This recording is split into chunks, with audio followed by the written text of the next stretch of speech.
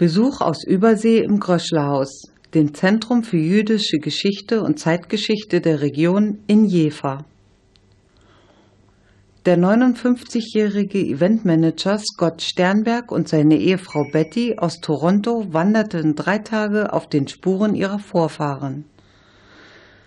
Scott Sternbergs Großeltern, jüdische Viehhändler aus der Jeverschen Schlosserstraße, und sein Vater mussten Ende der 1930er Jahren aus Jever vor den Nazis fliehen. Sie erzählten fast nie über diese schreckliche Zeit, wohl um sich selbst zu schützen. Während der Großvater von Scott Sternberg im KZ Sachsenhausen gequält wurde, nahm das Mariengymnasium Jever seinen Vater Gerd 1933 trotz bestandener Aufnahmeprüfung nicht auf, weil er Jude war. Gerd Sternberg besuchte dennoch 1984 das Mariengymnasium Jever auf Einladung von Schülerinnen und Schülern der Schule. Von damals stammt der Kontakt der Sternbergs zu Hartmut Peters. Hartmut Peters und Volker Landig zeigten dem sehr interessierten Ehepaar das jüdische Jever. Neustadt Gödens, das friesische Brauhaus und das Schloss.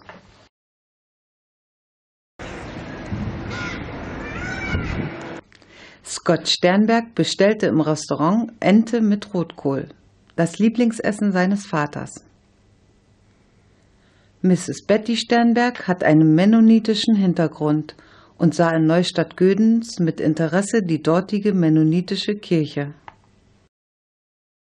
Das Gröschlerhaus in der Jeverschen Wasserfortstraße hat einen virtuellen Bruder erhalten. Unter dem Portal www.gröschlerhaus.eu entsteht eine Internetzeitschrift. Sie bietet Informationen über die jüdische Geschichte und die Zeitgeschichte der Region Friesland, Wilhelmshaven. Die Startseite zeigt unter anderem aktuelle Veranstaltungen und neue Artikel an. Über eine Landkarte lassen sich Informationen zu Erinnerungsorten der NS-Zeit anklicken, wie hier zu den Gestapo-Morden im Jeverland. Auf anderen Seiten sind Artikel zu Jever Farel und Wilhelmshaven systematisch anklickbar. Namhafte Regionalhistoriker liefern die Beiträge. Auch Fotos, Ausstellungstafeln und Filme stehen zur Verfügung.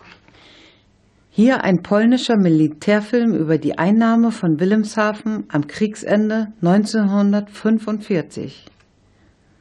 Die Festungs- und Hafenkommandanten und die Zivil- und Militärbehörden vor dem polnischen Oberst dem neuen Stadtkommandanten.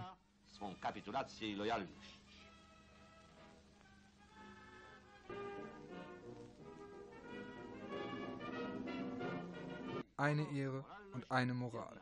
Wie auch der Soldat nur ein. Auch passende Beiträge vom Wochenblatt TV sind archiviert.